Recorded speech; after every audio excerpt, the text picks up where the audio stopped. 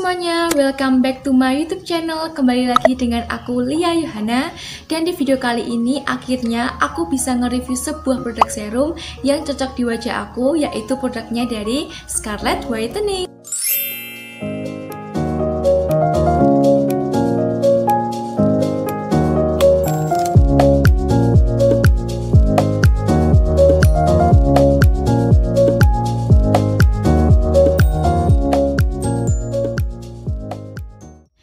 Jadi selain rangkaian bodyguardnya yang udah terkenal banget, udah banyak juga yang suka, udah banyak juga yang cocok dan udah banyak juga yang review, sekalian juga ada produk untuk face care-nya. Dan salah satunya adalah serum yang akan aku review di video kali ini. Dan kalau kalian lihat di YouTube pun atau di sosial media yang lain, pasti udah banyak juga orang-orang yang nge-review tentang serumnya Scarlett ini dan udah banyak juga yang cocok. Cuma di sini aku juga pengen ikutan nge-review berdasarkan pengalaman aku selama kurang lebih dua minggu aku cobain serumnya dari Scarlett ini. Dan sekarang tanpa banyak basa-basi lagi, langsung aja kita mulai videonya.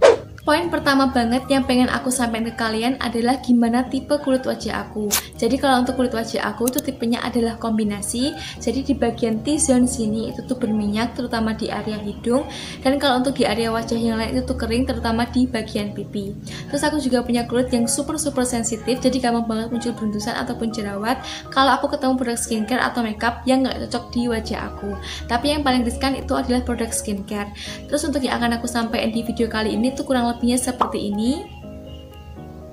Dan aku akan awali untuk yang pertama dulu. Jadi di sini aku sengaja cobain kedua serumnya Scarlett ini, baik yang acne serum yang warna ungu ini, yaitu ditujukan untuk yang pemilik kulit berjerawat atau acne prone skin, dan Bradley Everafter serum yang warna pink ini, yaitu untuk yang mau mencerahkan kulit wajah. Dan di sini aku akan bahas secara keseluruhan dulu. Jadi pas aku terima produknya, serum ini tuh dibungkus kardus besar kayak gini dulu. Terus produknya pun juga di bubble wrap yang tebal. Dan di sini aku juga dapetin stiker yang lucu banget menurut aku dan inilah kedua serumnya dan kalau dibuka dalam packaging serumnya ini tuh masih dikasih kayak tatakan atau tempat buat naruh serumnya jadi kalau dari segi packaging ini tuh aman banget karena cegah untuk tumpah atau rusaknya produk Next, aku akan bahas persamaan dari kedua serum ini. Untuk persamaan yang pertama, pastinya mereka udah sama-sama BPOM. Terus yang kedua, harganya sama-sama 75.000 dan masing-masing kita dapetin 15 ml. Terus yang ketiga, bentuk botolnya tuh sama-sama kaca seperti ini. Dan persamaan yang keempat, mereka sama-sama alkohol free, silikon free, paraben free, dan nggak mengandung fragrance atau perfume. Jadi aman banget untuk aku yang punya kulit yang super super sensitif. Dan bagi kalian juga yang punya kulit sensitif, kalian bisa banget untuk cobain serumnya dari Scarlett ini. Tapi walaupun dia tuh nggak mengandung perfume, aroma alami dari bahan-bahan yang ada di serum ini tuh sama sekali nggak mengganggu. Terus yang kelima, mereka sama-sama bisa dipakai di pagi ataupun di malam hari. Dan yang keenam, mereka mencantumkan expired date-nya itu di botolnya juga. Jadi untuk aku pribadi itu aku suka banget untuk produk makeup ataupun skincare yang nggak cuma mencantumkan expired date-nya itu di kardusnya aja. Karena untuk aku tuh biasanya untuk kardusnya tuh hilang. Jadi kalau misal udah hilang aku pasti udah lupa kapan itu expired produknya. Persamaan yang ketujuh kedua serum ini sama-sama ada bahan aktifnya. Jadi kalian harus hati-hati saat mau pakai serum Scarlett ini dengan produk skincare kalian yang lain. Dan tenang aja nanti aku akan juga bagiin tips gimana cara pemakaian serumnya Scarlett ini biar hasilnya itu optimal dan juga bekerja di kulit wajah kalian. Dan sekarang kita masuk ke review produknya dan aku akan mulai dari yang acne serum terlebih dulu. Jadi kalau dari segi tekstur dia itu agak kental, warnanya bening, terus pas dipakai tuh nggak lengket dan mudah meresap juga ke dalam kulit. Terus untuk yang acne serum ini aku udah pakai selama 9 hari. Lanjut sekarang ke klaim dari acne serum ini. Next ke ingredientsnya. Jadi kalau untuk keseluruhan ingredients itu cantumkan di dusnya. Tapi untuk yang acne serum ini dia punya 5 kandungan yang ditonjolkan yang mana dicantumkan di botolnya yaitu yang pertama ada tea tree water yang bagus untuk ngatasin jerawat, melembabin kulit, bantu ngurangi beruntusan sama minyak yang ada di wajah. Terus ada Jeju Central Asiatica yang bagus untuk menjaga kelembapan kulit kita, ngurangin peradangan, cegah dan juga ngurangin kerusakan kulit, terus juga mempercepat untuk penyembuhan luka kalau kita tuh lagi jerawatan atau ada bekasnya gitu. Terus yang ketiga ada vitamin C yang mana bagus banget untuk bantu ngilangin bekas jerawat sama flek-flek yang ada di wajah kita. Terus yang keempat ada salicylic acid di mana bahan ini tuh cocok banget untuk yang pemilik kulit acne prone karena bantu ngeredain peradangan yang terjadi saat jerawat kita tuh muncul di wajah. Terus yang terakhir itu ada licorice extract di mana tuh bahan yang kaya akan vitamin sama mineral jadi bantu banget untuk menutrisi kulit wajah kita. Dan sekarang aku akan ceritain ke kalian efek apa yang aku rasain selama 9 hari aku pakai acne serumnya Scarlet Whitening ini. Jadi kalau efek yang paling aku suka dari serumnya Scarlet yang acne ini, itu tuh cara dia untuk mengempiskan jerawat. Jadi aku rasain banget setelah aku pakai serumnya dari Scarlet yang acne serum ini, aku tuh merasa jerawat aku lebih mudah kempisnya dan nggak sampai yang muncul putih-putihnya gitu. Terus kalau untuk beruntusan ada dua hal yang aku rasain. Yang pertama, ada beruntusan aku yang langsung reda terus hilang gitu aja.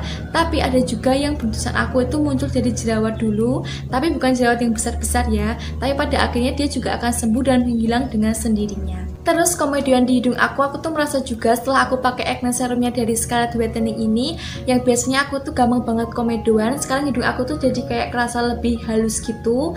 Dan gak gampang muncul komedoan yang sampai kayak membuat hidung aku tuh kayak gatel-gatel gitu sekarang beralih ke yang Bradley Evrator Serum ini. Jadi karena aku merasa jerawat di wajah aku sudah mereda Dan juga kondisi wajah aku sudah lebih baik Jadi aku beralih ke yang Bradley Evrator Serum ini. Dan kalau dari segi tekstur tuh hampir sama kayak Acne Serum tadi. Dia agak kental. Tapi kalau untuk dari segi warna menurut aku lebih pekat dibandingkan yang acne serumnya tadi. Terus dia juga gampang meresap ke dalam kulit. Dan kalau untuk yang serum ini aku udah pakai selama 5 hari Lanjut sekarang ke klaim dari yang Bradley Evrator Serum ini. Next ke ingredientsnya dan sama kayak acne serum tadi untuk keseluruhan ingredientsnya dia cantumkan di dusnya.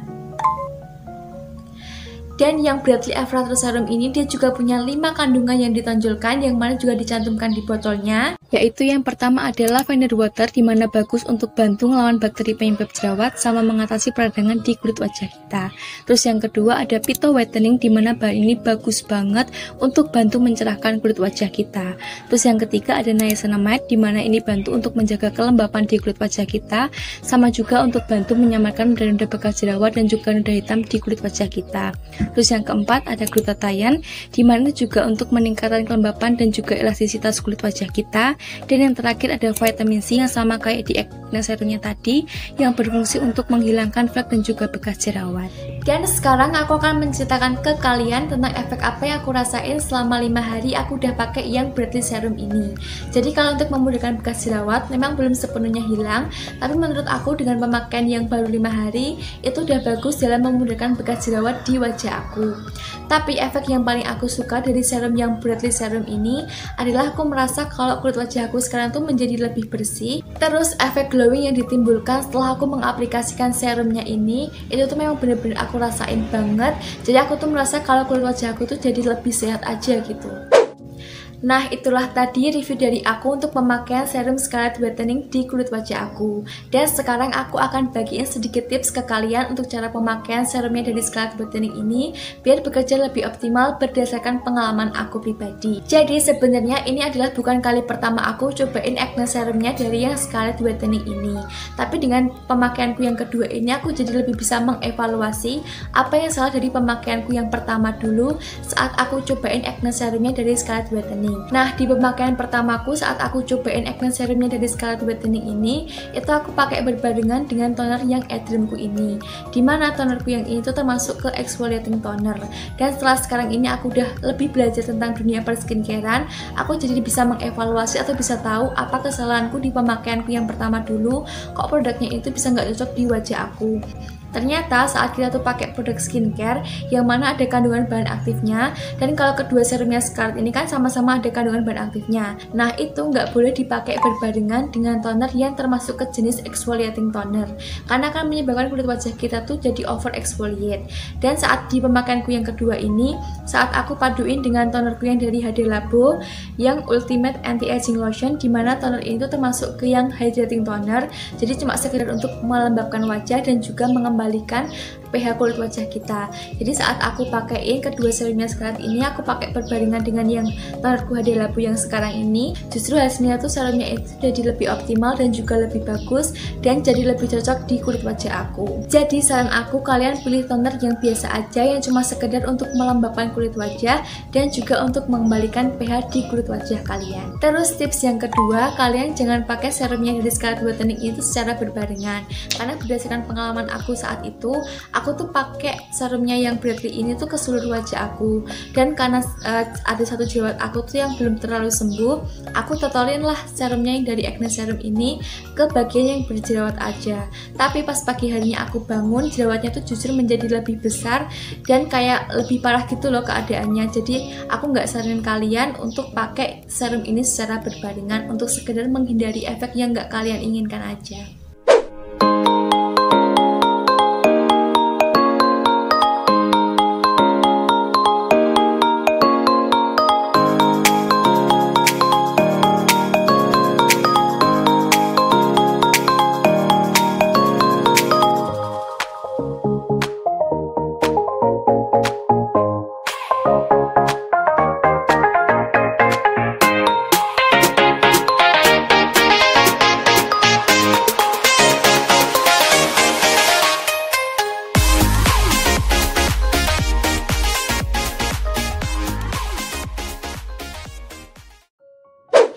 yap, itulah tadi pembahasan dan juga review aku mengenai kedua serumnya Scarlett Botanic ini. Dan bagi kalian yang pengen cobain juga, aku akan cantumkan link pembeliannya di kolom deskripsi, jadi kalian tinggal cek aja. Semoga video kali ini bermanfaat bagi kalian, dan sampai jumpa di video aku selanjutnya. Bye!